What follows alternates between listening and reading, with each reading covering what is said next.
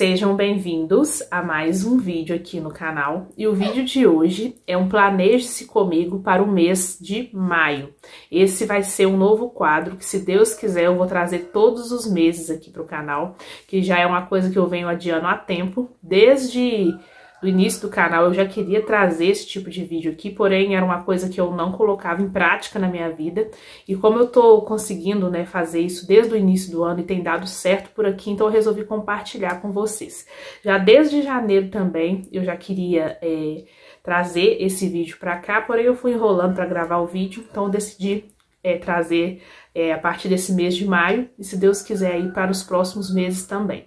A princípio, eu vou mostrar para vocês aí nesse vídeo um pouquinho da minha organização, do meu planejamento para o mês de maio. Já nos próximos vídeos eu vou fazer um resumo do mês anterior para mostrar para vocês o que foi que eu consegui fazer, né, do meu planejamento e mais algumas coisas e mostrar também o meu planejamento para o próximo mês, tá bom? Então vou mostrar para vocês aí na prática como é que eu faço o meu planejamento para o mês e eu espero que vocês gostem. Este é o planner que eu estou usando nesse ano de 2022, é, desde o início do ano. O foco do vídeo não é mostrar o planner, então eu vou focar aqui na organização, mas esse é um planner bem completo até, porém eu fiz algumas adaptações, porque tem coisas aqui que eu gostaria de anotar e não tem espaço. Algumas eu dei um jeitinho e tem outras coisas que eu nem preenchi porque eu não acho necessário. Mas aqui, ó, vocês vão ver aí algumas folhas soltas, porque eu vou anotando algumas coisas que não tem espaço para colocar aqui dentro. Aí eu deixo nas folhas. Aí toda vez que eu preciso, eu só pego a folha e anoto lá no mês e na semana que eu estou. Aqui, por exemplo, ó, são algumas ideias de, de vídeos que eu vou tendo. Aí eu anoto.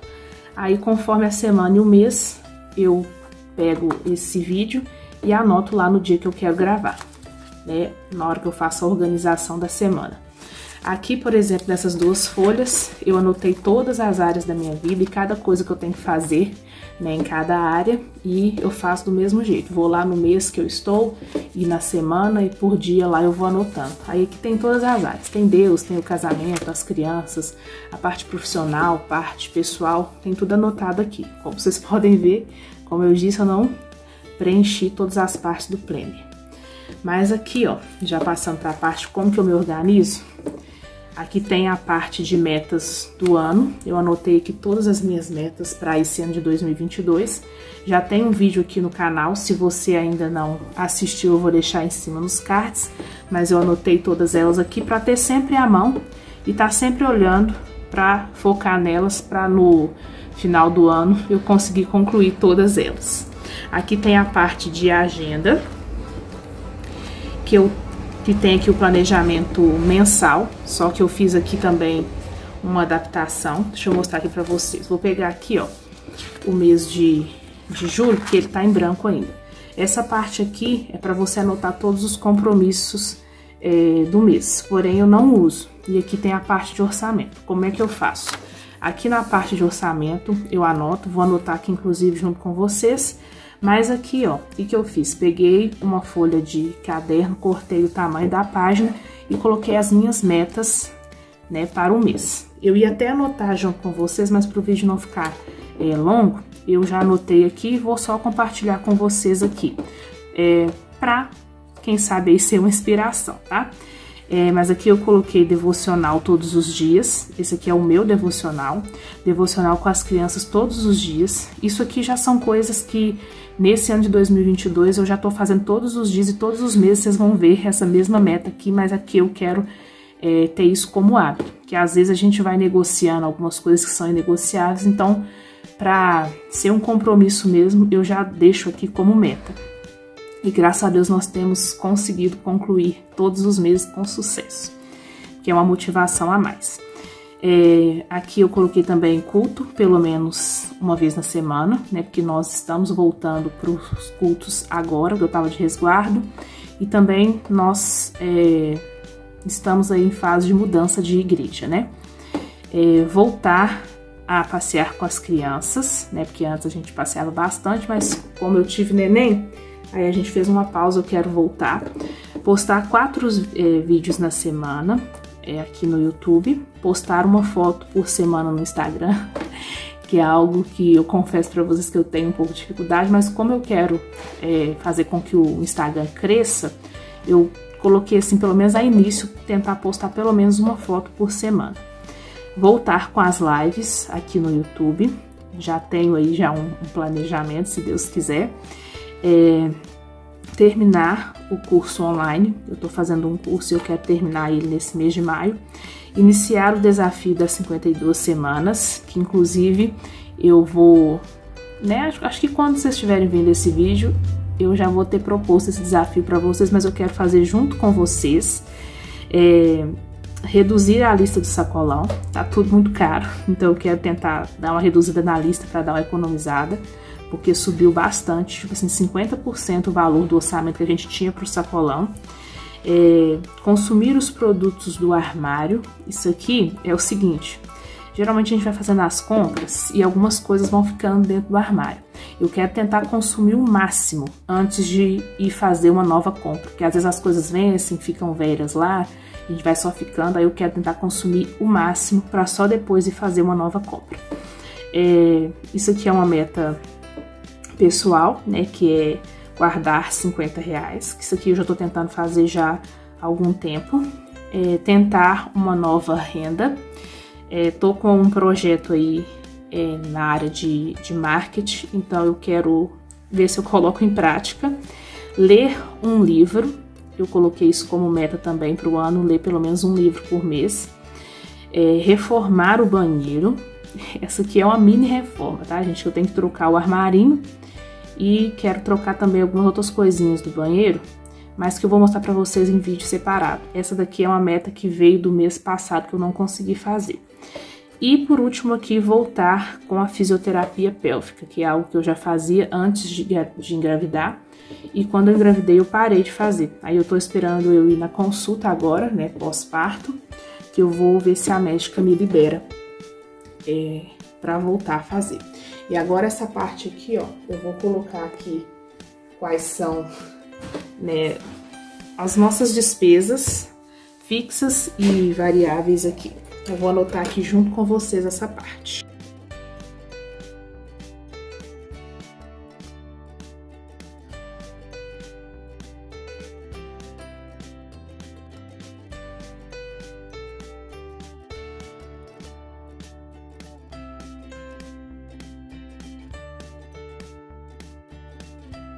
Então aqui, ó, eu anotei as nossas despesas fixas e aqui as variáveis. Aqui embaixo tem a parte de como posso melhorar e metas financeiras para o próximo mês. Isso daqui eu confesso para vocês que até hoje eu não comecei a preencher ainda, mas é uma das coisas que eu quero começar porque dá uma motivação maior. Eu deixo essas metas aqui, ó, e eu vou distribuindo elas por semana, que é a parte que eu vou mostrar aqui para vocês agora. Aqui, ó, eu já começo a anotar no mês anterior as coisas que eu quero fazer todos os dias. É, inclusive, eu tô até lembrando que eu não coloquei a meta da água lá, né? Mas aqui já tá. É, cada quadradinho desse daqui é 500 ml de água. Então, aqui seriam 2 litros de água por dia. Pro meu peso, eu sei que é mais, mas como eu não tenho aquele hábito de tomar água, eu tô começando com 2 litros, depois eu vou aumentando até chegar à quantidade necessária é, pro meu peso. Então aqui, ó, eu vou anotando, eu coloco um quadradinho, né, para quando eu concluir a tarefa já colocar um check aqui.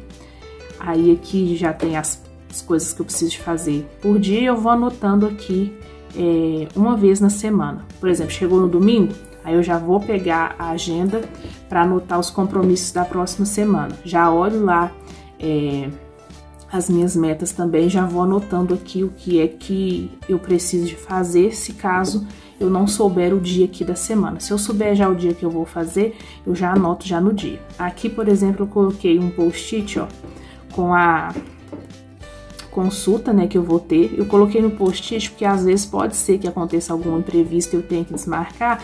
É só tirar aqui, eu não preciso passar corretivo.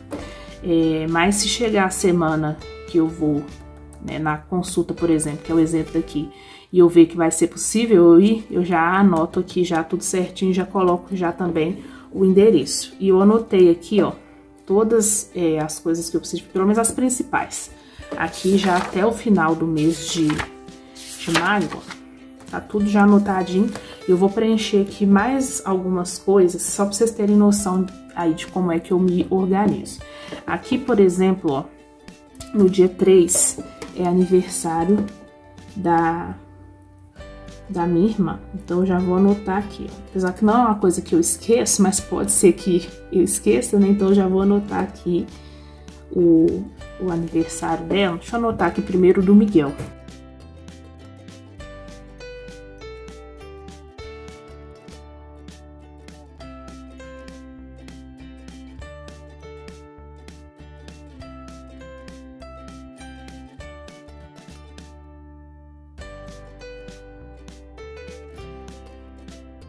Então aqui, gente, ó, só para vocês conseguirem ter uma noção e conseguirem entender melhor o meu planejamento aí pro mês, eu peguei algumas daquelas metas que eu mostrei para vocês e já fui é, destrinchando elas aqui na agenda. Por exemplo, eu quero terminar o, o curso, então já coloquei aqui todos os dias, para fazer uma aula do curso. É, como eu quero né, fazer o Instagram crescer, já coloquei aqui postar foto no Instagram, que eu ainda não decidi o dia, então eu coloquei aqui. Mas, por exemplo, se eu fosse postar essa foto na quarta-feira, já colocaria aqui. Como eu quero postar quatro é, vídeos por semana, já tô colocando aqui, ó, é, os dias já que eu quero postar os vídeos. E como prioridade do mês, eu vou focar esse mês no YouTube. Então, eu anotei aqui no post-it, porque aí eu posso tirar daqui e colocar já na próxima semana. Só para finalizar aqui, por exemplo, quero ir pelo menos uma vez, é pelo menos uma vez no culto, já coloquei aqui o dia que eu quero ir. Então, é dessa forma aqui que eu me planejo, né, pro mês. Aí, depois eu vou tirar mais um tempinho para é, preencher o restante das semanas aqui. E por último aqui, ó, deixa eu mostrar para vocês. Aqui, ó, também eu coloco, né, lista de algumas coisas que eu tenho que fazer e comprar e vou dando check conforme, né, eu vou conseguindo fazer. E aqui, ó, são outras partes do planner que eu não uso, mas que dá para ter uma noção também aí de organização, que eu tenho aqui algumas dicas, ó mas também é uma parte ali que eu não preenchi. E aqui no finalzinho é onde eu deixo geralmente as contas da casa. E aqui, ó, tem já é, folhinhas, ó, para todos os meses, para anotar as metas, para colar lá, ó. E aqui algumas outras coisas que eu tenho que fazer nos próximos meses de papel que eu vou precisar, que já estão aqui. Então, essa é a forma que eu me organizo e me planejo para o mês. É, como eu falei para vocês, eu acho que eu falei, nem sempre é, foi assim. É, mas o objetivo dessa organização mensal é para que eu consiga né, me organizar melhor. Afinal de contas, hoje em dia eu já tenho quatro filhos. Se eu não me organizar, eu não consigo fazer as inúmeras coisas que eu tenho para fazer. E também é, para me ajudar a alcançar as metas né, que eu me propus ali no início do ano porque a princípio, né, desde quando eu comecei a anotar as minhas metas, eu só anotava e deixava elas ali. Se acontecesse, ok. Se não acontecesse também, né, eu nem corria atrás, nem fiquei de olho ali, me policiando para que elas se realizassem. Hoje em dia, como eu tenho né, um objetivo de concluir as minhas metas, eu vou vendo o que eu posso fazer não só durante o ano, que a gente sempre vai adiando, né, mas o que eu posso fazer não só mensalmente, mas também semanalmente e dia após dia para eu conseguir concluir essas metas. Então a organização tem feito toda a diferença e o objetivo de compartilhar isso com vocês é porque me dá uma motivação a mais e quem sabe também não dá uma motivada em vocês. Eu gosto de compartilhar né, as minhas metas. Eu gosto, inclusive, de assistir é, metas também de outras pessoas, me dá uma motivação, um gás a mais para eu correr atrás das minhas metas também. Então é isso, eu gravei esse primeiro vídeo num formato que eu achei que fosse ficar bacana de assistir e que fosse ficar mais fácil de vocês entenderem como é que eu me planejo, como é que eu me organizo, mas com o passar do, dos meses aí eu vou aprimorando aqui, vendo o que eu posso fazer para melhorar. Se de repente vocês têm alguma dica aí também de como é que eu posso gravar esse vídeo, de repente um outro formato, ou se de repente tem alguma outra coisa que vocês queiram ver, deixa aqui embaixo nos comentários que vai ser um prazer, né, saber a opinião de vocês.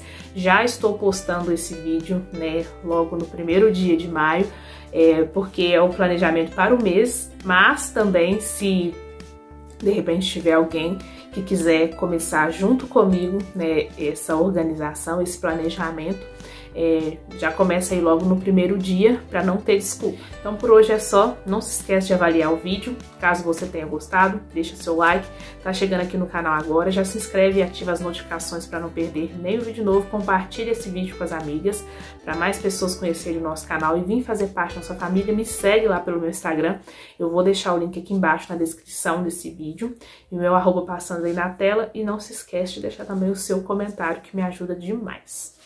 Beijo e até o próximo vídeo.